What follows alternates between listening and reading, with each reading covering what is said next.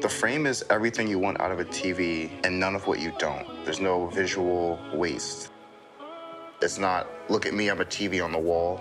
The display on the frame is phenomenal. I've never seen anything like it. It's so crisp. Kind of makes everything pop the way the artist kind of intended it to. Art's also generally hard to agree upon, and it's nice that the frame kind of lets you change that. We're constantly changing, so having furniture that changes with us is very important. For us, creativity doesn't stop, so it's nice to be able to take a frame box and turn it into a prototype for another piece of furniture.